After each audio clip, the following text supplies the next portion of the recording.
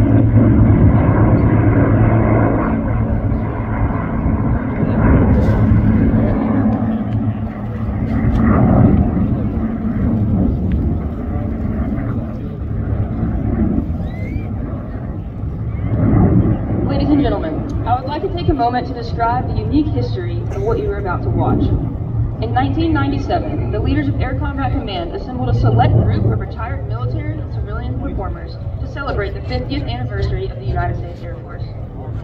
From this gathering was born Heritage Flight, a unique visual representation of the Air Force's history from the days of the Air Army Corps to the present. What started out as a one-time event has grown in popularity and demand, and now heritage flights are performed at air shows and special events in the United States and around the world.